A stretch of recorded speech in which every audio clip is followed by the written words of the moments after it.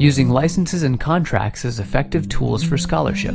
Remarks by Jaren Wilcoxson at the 159th ARL membership meeting. Convened by Ann Wolpert. Well, sometimes after lunch, you find that people are slumped in their seats, but I can see that's not the case with this crowd. Bright-eyed and bushy-tailed and ready to uh, do some serious thinking about um, licenses and using licenses as a business tool in negotiations. I'm Ann Wolpert, and I'm the Director of Libraries at MIT. If I haven't met you, please come and introduce yourself after the meeting, because I'd love to know who you are. Um, I'm currently the chair of the Scholarly Communications Steering Committee of ARL, and uh, we planned a program for this session that talks to what we need to do in the emerging 21st century. And we think in this committee that one of the things we need to do in the emerging information world of the 21st century is think seriously about the license agreements that we sign with our publishers, database producers, book publishers, as we move into the electronic arena. About 15 years ago, some of you will remember the start of LIBLICENSE when we were deeply worried about what kinds of licenses we would have to sign with publishers of electronic journals. Uh, and we put a lot of effort into creating some model licenses around electronic journal licensing.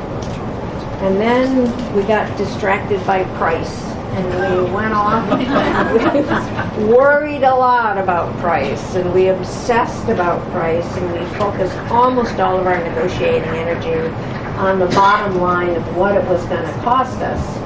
And to a certain extent, while we were doing that, we stopped paying attention quite so closely to the terms and conditions that publishers, database producers, ebook publishers were requiring of us as a condition of handing over $1.4 billion uh, to their coffers. So it seemed to the Scholarly Communications Committee that it was probably a good point in time to pause and say, wait a minute, we're in a business relationship with these people. Kinds of contracts we negotiate now are going to influence what we can do in the future. We don't want to set the wrong kind of precedents.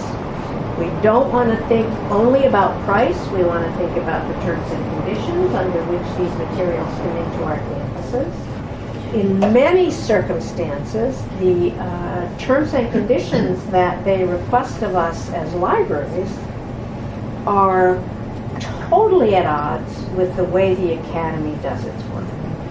They want to define who can use these things. They want to define who's a member of your community. They want to say things about what visitors can do. They want to say things about what affiliated researchers can do. And uh, we need to start paying close attention to these terms and conditions, not just the money, but the terms and conditions. And the way to do that is to begin to think more assertively about the fact that this is a business relationship. We write huge checks to some commercial uh, providers of information, and we need to get back to thinking about what we want as research libraries from that business relationship. And to the extent that we can create common understanding about the fact that this is a business relationship, a common understanding about what we think are best practices that support scholarship and research on our campuses, uh, the better off we all will be. So um, the, the Scholarly Communications Steering Committee was able to hornswoggle my friend Jay Wilcoxson, who's in the General Counsel's office at MIT and who works with the libraries on licensing issues and thinks more broadly about business relationships that are managed through contracts and licenses to come and have a discussion with us. I promised him we were not going to ask him to lecture for an hour. I asked him if he would speak for 15 or 20 minutes, set the stage for us, and then engage in a dialogue with us about what we think the situation looks like, what we might need, how could we think strategically about this business relationship with publishers, and just open up our minds a little bit to a new way of thinking about our negotiations as a business relationship in which we have a stake that's greater than dollars. So with that, um, I'm not going to give you a big fancy introduction please if don't. you don't mind, Jay. Please don't. uh, we'll ask Jay to uh, launch us off. Great. Thank you. Well, thank you everybody for um, having me here. Um, this is a very uh, new experience for me. I'm usually uh, used to talking to a room full of lawyers, um, so uh, I'm clearly outnumbered here today. But uh, but I, I think we can have some fun talking about some some uh, some ideas. Um, so let me preface one thing. I'm probably the least knowledgeable person in the room on the topic that we're about to, talk about. Um, I work very closely with the MIT libraries. Um, I uh, practice uh, uh, commercial litigation at a big law firm for 10 years. I did a lot of trademark and copyright work. Um, I've now been at MIT for about four years and work very closely with the libraries and other um, parts of the institution on copyright issues. Um, so I have a, you know, a fairly uh, deep knowledge of copyright, but you guys are out, um, you know, in the front lines of things, dealing with the day-to-day um, issues. So I'm, I'm sure there's a lot that I'm going to say today um, that you could all say better, uh, maybe with more depth. Um, but I at least wanted to kind of think um, through some issues, kind of talk about, set, set the stage for kind of what the issues are, um, talk about some of our own experiences at MIT uh, where we've had successes and, and uh, less successes in trying to negotiate interesting um, and different provisions into licenses uh, with the goal of sort of pursuing our own, uh, you know, specific institute mission, um, but then also uh, I think a lot of the issues we've dealt with um, apply broadly to all, all research libraries. Um, so, um, Ann's right, I'm not going to talk for an hour. Um, I'm hoping to talk for 10 or 15 minutes. Um, uh, and then hopefully we can have open up the floor to a discussion, and hopefully Anne and everybody else will um, facilitate that. Happy to ask questions. I probably have the same questions and not the answers, but again, I think uh, hopefully uh, by the end maybe we'll at least spark a discussion that will will continue on. Um, so, just to set the stage, um, and again, I'm probably not going to say anything you don't all know, but let's you know rewind a few years. Um, uh, as we all know, uh, over the last 10, 15 years, how information is uh, created, delivered, shared um, has changed in ways that we probably uh, couldn't have imagined 10 years ago. We probably can't imagine the ways that um, that information is going to continue to be shared and, and distributed and, and used um, in the future. Um, and what that has done is created a, a, much more complex landscape than what we had um, before. I mean, it used to be very simple. You'd buy a, a journal or a book. It was in hard copy, um, and uh, we were governed by the law. So we had to worry about first sale doctrine. Pretty straightforward back in the old days. Maybe not so much anymore. Uh, fair use. Um, never simple to apply fair use, but at least it's a concept that is consistently applied um, uh, based on the, the type of uh, work that you've got. Um, it's a uniform rule. Again, hard to apply, but at least we know that's the rule that applies. Um, we got the Section 108 rules. Um, we basically were in a law-driven uh, construct, and so we knew that uh, those were going to be uniform from from situation to situation. And, and, again, maybe there were challenges in applying those, but we knew we had a fairly uh, finite area to consult when we had to determine what the rules were.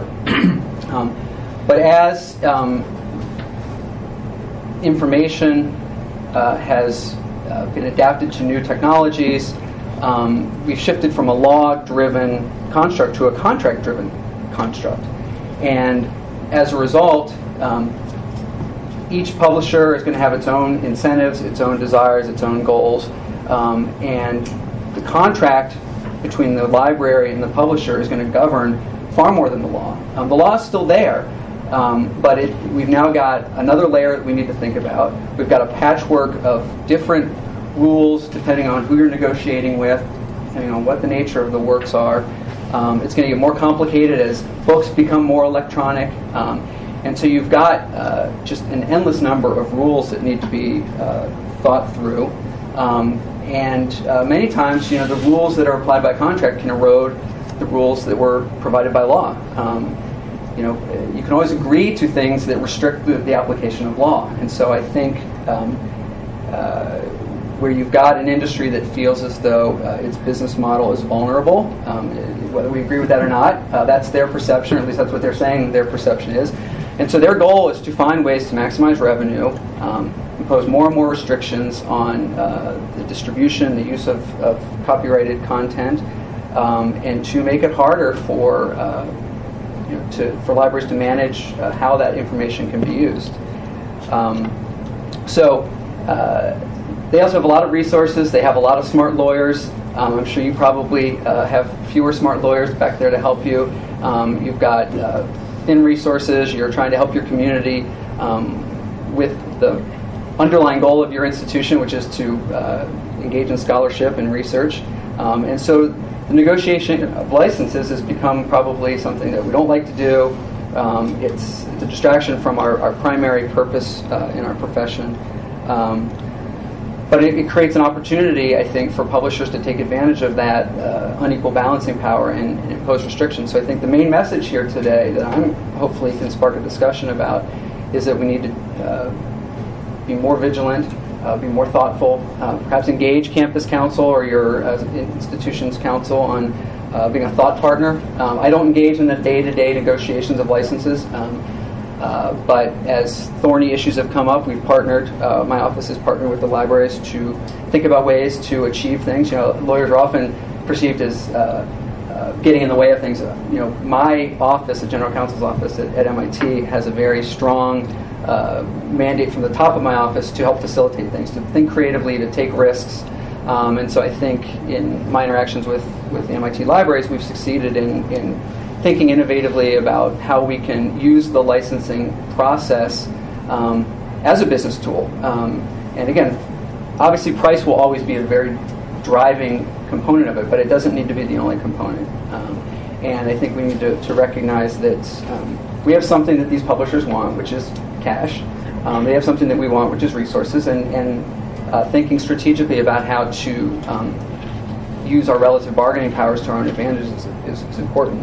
Um, so just as, as I was getting ready to, to, to um, talk to you today, I consulted with um, uh, some of my colleagues in the libraries and looked back at some of the licenses that we've signed um, just to sort of start thinking about some of the key issues that we've encountered, um, where we've succeeded, um, where maybe we could do better.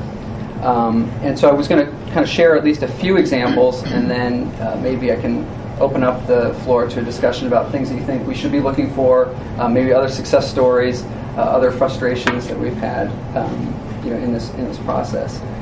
Um, so one of the, I think the big successes we we've had in the last um, couple years is really focused on securing more author rights. Um, we have a faculty uh, adopted open access policy whereby MIT uh, is given a license to all faculty scholarship right from the outset as soon as it's committed to to paper. We have a license to it um, for purposes of building our own institutional repository. Um, not surprising, the publishers have pushed back on, on those types of, of policies and are trying to uh, impose restrictions on how we can uh, use those works. Of course, the faculty are off signing agreements that they don't read that also uh, restrict their ability to do that. Um, so we've tried to use you know the licensing negotiations as a sort of a belt and suspenders approach. I mean, let's let's get at this any way we possibly can. And so as part of one of our big uh, licenses, we actually secured uh, rights to the institute to all works in the database uh, that are written by our faculty, our staff, our students.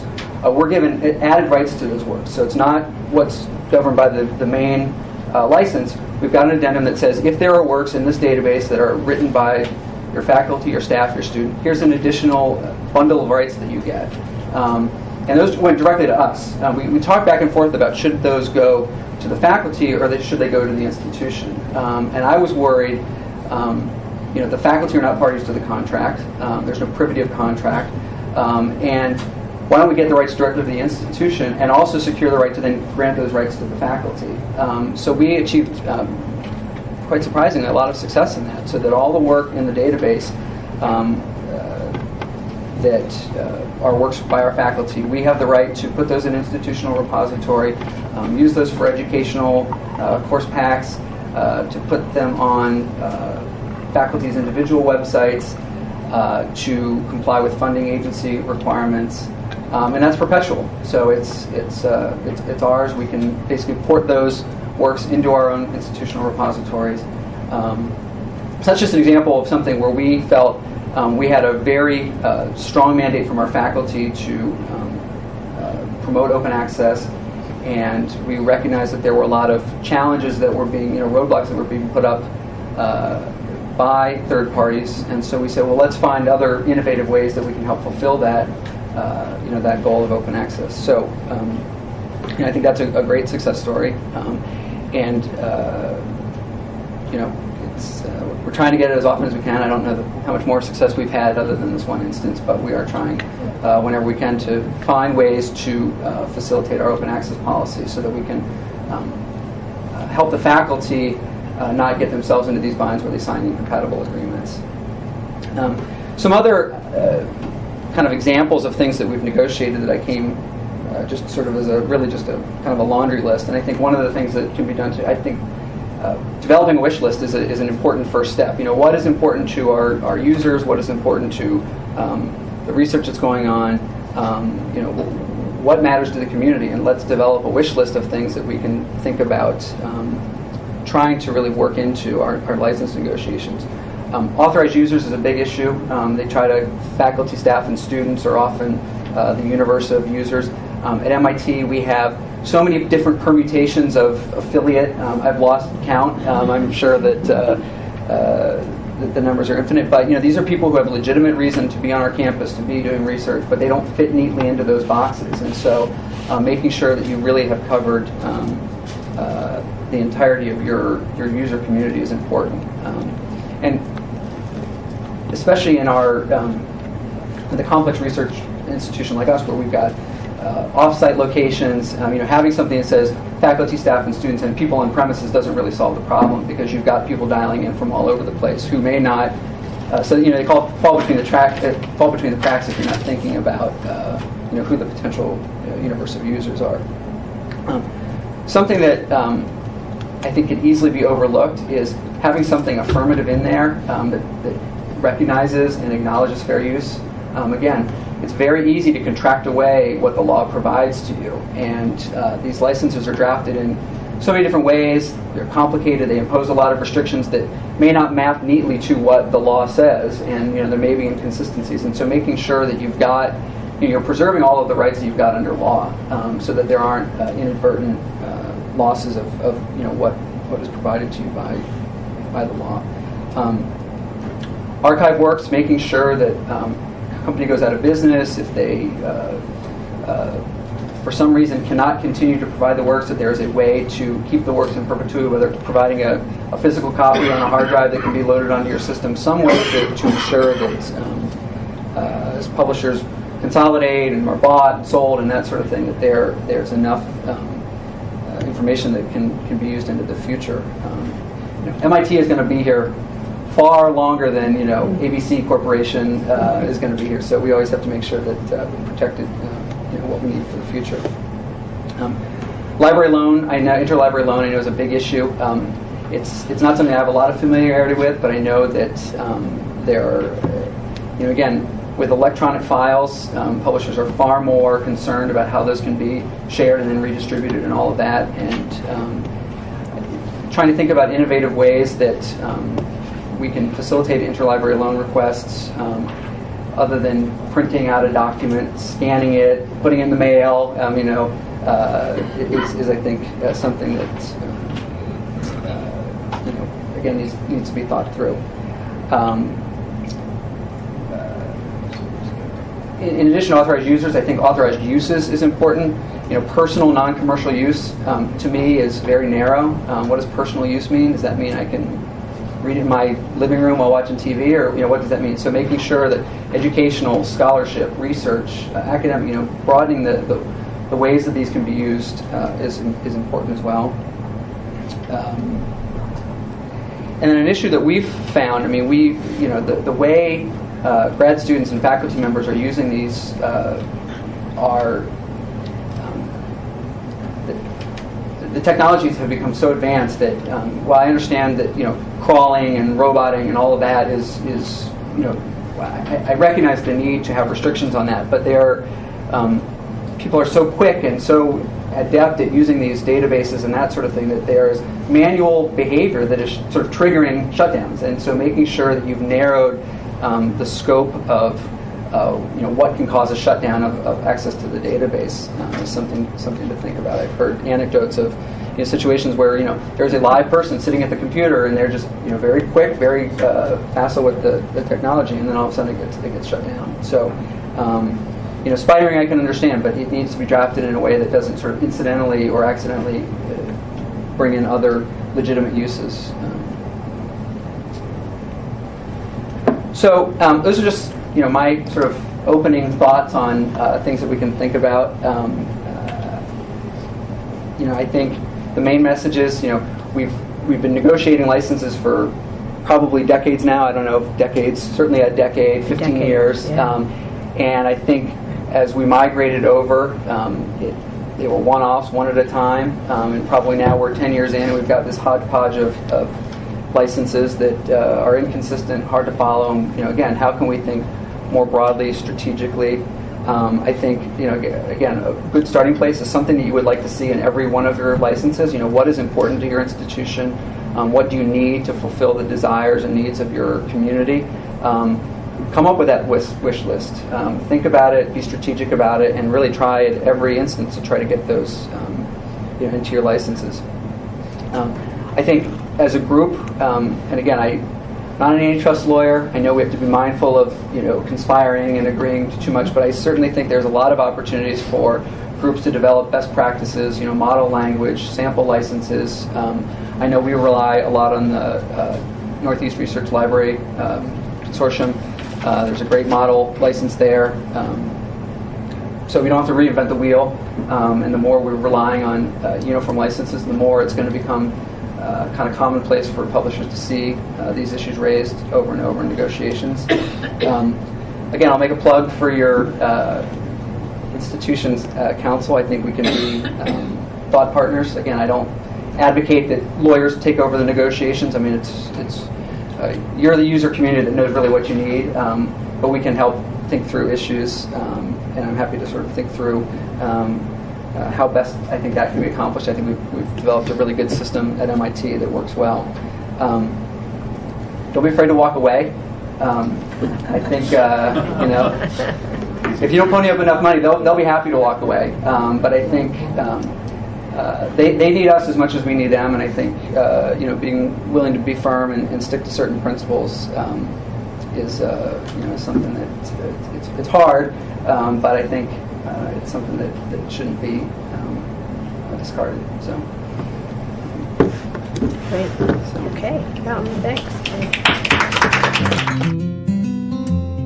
Thank you for listening. Music was provided by Josh Woodward. For more talks from this meeting, please visit www.arl.org.